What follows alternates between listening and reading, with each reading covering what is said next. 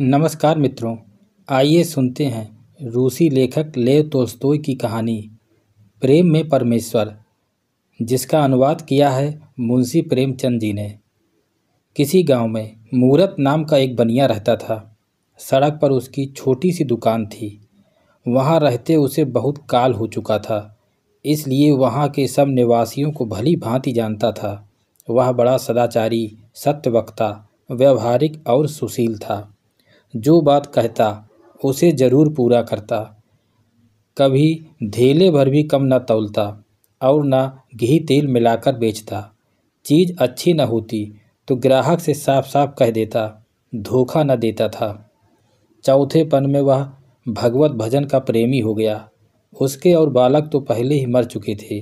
अंत में तीन साल का बालक छोड़कर उसकी स्त्री भी जाती रही। पहले तो मूरत ने सोचा इसे ननिहाल भेज दूँ, पर फिर उसे बालक से प्रेम हो गया। वह स्वयं उसका पालन करने लगा। उसके जीवन का आधार अब यही बालक था। इसी के लिए वह रात दिन काम किया करता था। लेकिन शायद संतान का सुख उसके भाग में लिखा ही ना था। पल पलाकर बीस वर्ष की अवस्था में यह बालक भी यमलोक को सिधार गया। अब मूरत के शोक की कोई सीमा न थी। उसका विश्वास हिल गया। सदैव परमात्मा की निंदा कर, वह कहा करता था कि परमेश्वर बड़ा निर्दयी और अन्यायी मारना बूढ़े को चाहिए था, मार डाला युवक को। यहाँ तक कि उसने ठाकुर के मंदिर में जाना भी छोड़ दिया। एक दिन उसका पुराना मित्र, जो आठ वर्ष से तीर्थ यात्रा को गया हुआ था, उससे मिलने आया। मूरत बोला, मित्र देखो, सर्वनाश हो गया। अब मेरा जीना अकारत है। मैं नित्य परमात्मा से यही विनती करता हूँ कि वह मुझे जल्दी इस मृत्यु लोक से उठा ले। मैं अब किस आशा पर जीऊँ? मित्र, मूरत, ऐसा मत कहो। परमेश्वर की इच्छा को हम नहीं जान सकते। वह जो करता है, ठीक करता है। पुत्र का मर जाना और तुम्हारे जीते रहना विधाता के वश है, और कोई इसमें क्या कर सकता है? तुम्हारे सुख का मूल कारण यह है कि तुम अपने सुख में सुख मानते हो। पराय सुख से सुखी नहीं होते। मूरत तो मैं क्या करूँ? मित्र, परमात्मा की निष्काम भक्ति करने से अंतकरण शुद्ध होता है।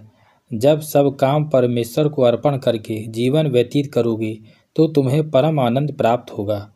मूरत, चित्त स्थिर करने का कोई उपाय तो बतलाइए। मित्र, गीता, भक्तमाल आदि ग्रंथों का श्रवण, पठन, मनन किया करो। ये ग्रंथ धर्म, अर्थ, काम, मोक्ष चारों फलों को देने वाले हैं। इनको पढ़ना आरंभ कर दो। चित्त को बड़ी शांति प्राप्त होगी। मूरत ने इन ग्रंथों को पढ़ना आरंभ किया। थोड़े ही दिनों में इन पुस्तकों से उसे इतना प्रेम हो गया कि रात को बारह बारह बजे तक गीता आदि पढ़ता और उसके उपदेशों पर विचार करता रहता था। पहले तो वह सोते समय छोटे पुत्र को स्मरण करके रोया करता था। अब सब भूल गया। सदा परमात्मा में लवलीन रहकर आनंदपूर्वक अपना जीवन बिताने लगा। पहले इधर उधर बैठकर हँसी ठट्टा भी कर लिया करता था, पर अब वह समय व्यर्थ न खोता था। या तो दुकान का काम करता या रामायण पढ़ता। तात्पर्य यह कि उसका जीवन सुधर गया। एक रात रामायण पढ़ते पढ़ते उसे ये चौपाइयाँ मिली। एक पिता की विपुल कुमारा, हुई पृथक गुणशील अचारा। कोई पंडित को तापस ज्ञाता, कोई धनवंत सूर कोई दाता। कोई सर्वज्ञ धर्मरत कोई, सब पर पिता ही प्रीति सम हुई। अखिल विश्व यह मम उपजाया, सब पर मोहि बराबर दाया। मूरत पुस्तक रखकर मन में विचारने लगा कि जब ईश्वर सब प्राणियों पर दया करते हैं तो क्या मुझे सभी पर दया न करनी चाहिए? तत्पश्चात सुदामा और सबरी की कथा पढ़कर उसके मन में यह भाव उत्पन्न हुआ कि क्या मुझे भी भगवान के दर्शन हो सकते हैं। यह विचारते विचारते उसकी आँख लग गई। बाहर से किसी ने पुकारा, मूरत। बोला, मूरत, देख, याद रख, मैं कल तुझे दर्शन दूँगा। यह सुनकर वह दुकान से बाहर निकल आया। वह कौन था? वह चकित होकर कहने लगा, यह स्वप्न है अथवा जागृति। कुछ पता न चला। वह दुकान के भीतर जाकर सो गया। दूसरे दिन प्रातःकाल उठा। पूजा पाठ कर दुकान में आ, भोजन बना, मूरत अपने काम धंधे में लग गया। परंतु उसे रात वाली बात नहीं भूलती थी। रात्रि को पाला पड़ने के कारण सड़क पर बर्फ़ के ढेर लग गए थे। मूरत अपनी धुन में बैठा था। इतने में बर्फ़ हटाने को कोई कुली आया। मूरत ने समझा, कृष्णचंद्र आते हैं। आँखें खोलकर देखा कि बूढ़ा लालू बर्फ़ हटाने आया है। हंसकर कहने लगा, आवे बूढ़ा लालू, और मैं समझूं कृष्ण भगवान, वाहरी बुद्धि। लालू बर्फ़ हटाने लगा। बूढ़ा आदमी था। शीत के कारण बर्फ़ ना हटा सका। थक कर बैठ गया और शीत के मारे कांपने लगा। मूरत ने सोचा कि लालू को ठंड लग रही है, इसे आग तपा दूँ। मूरत, लालू भैया, यहाँ आओ। तुम्हें ठंड सता रही है, हाथ सेंक लो।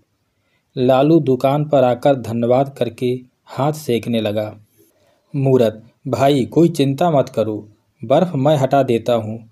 तुम बूढ़े हो, ऐसा ना हो कि ठंड खा जाओ। लालू, तुम क्या किसी की बाट देख रहे थे? मूरत, क्या कहूँ? कहते हुए लज्जा आती है। रात मैंने एक ऐसा स्वप्न देखा है कि उसे भूल नहीं सकता।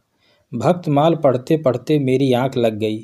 बाहर से किसी ने पुकारा, मूरत, मैं उठकर बैठ गया। फिर शब्द हुआ, मूरत, मैं तुम्हें दर्शन दूँगा। बाहर जाकर देखता हूँ तो वहाँ कोई नहीं। मैं भक्तमाल में सोदामा और सबरी के चरित पढ़कर यह जान चुका हूँ कि भगवान ने प्रेमवश होकर किस प्रकार साधारण जीवों को दर्शन दिए हैं। वही अभ्यास बना हुआ है। बैठा कृष्णचंद्र की राह देख रहा था कि तुम आ गए। लालू, जब तुम्हें भगवान से प्रेम है तो अवश्य दर्शन होंगे। तुमने आग न दी होती तो मैं मर ही गया था। मूरत, वाह भाई लालू, यह बात ही क्या है? इस दुकान को अपना घर समझो। मैं सदैव तुम्हारी सेवा करने को तैयार हूँ। लालू धन्यवाद करके चल दिया। उसके पीछे दो सिपाही आए। उनके पीछे एक किसान आया। फिर एक रोटी वाला आया। सब अपनी राह चले गए। फिर एक स्त्री आई। वह फटे पुराने वस्त्र पहने हुए थी। उसकी गोद में एक बालक था। दोनों शीत के मारे काँप रहे थे। मूरत, माई, बाहर ठंड में क्यों खड़ी हो? बालक को जाड़ा लग रहा है। भीतर आकर कपड़ा ओढ़ लो। स्त्री भीतर आई। मूरत ने उसे चूल्हे के पास बिठाया और बालक को मिठाई दी। मूरत, माई, तुम कौन हो? स्त्री, मैं एक सिपाही की स्त्री हूँ। आठ महीने से न जाने कर्मचारियों ने मेरे पति को कहाँ भेज दिया है? कुछ पता नहीं लगता। गर्भवती होने पर मैं एक जगह रसोई का काम करने पर नौकर थी।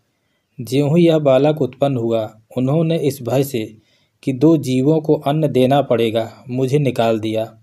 तीन महीने से मारी मारी फिरती हूँ। कोई टहलनी नहीं रखता। जो कुछ पास था, सब बेचकर खा गई। इधर साहूकारिन के पास जाती हूँ। शायद नौकर रख ली मूरत, तुम्हारे पास कोई ऊनी वस्त्र नहीं है, स्त्री, वस्त्र कहाँ से हो? छदाम भी तो पास नहीं। मूरत, यह लो लोई, इसे ओढ़ लो। स्त्री, भगवान तुम्हारा भला करे, तुमने बड़ी दया की। बालक शीत के मारे मरा जाता था। मूरत, मैंने दया कुछ नहीं की श्री कृष्णचंद की इच्छा ही ऐसी है। फिर मूरत ने स्त्री को रात वाला स्वप्न सुनाया। स्त्री, क्या अचरज है? दर्शन होने कोई असंभव तो नहीं। स्त्री के चले जाने पर सेव बेचने वाली आई। उसके सिर पर सेवों की टोकरी थी और पीठ पर अनाज की गठरी। टोकरी धरती पर रखकर खंभे का सहारा ली, वह विश्राम करने लगी कि एक बालक टोकरी में से सेव उठाकर भागा। सेव वाली ने दौड़कर उसे पकड़ लिया और सिर के बाल खींचकर मारने लगी। बालक बोला, मैंने सेव नहीं उठाया।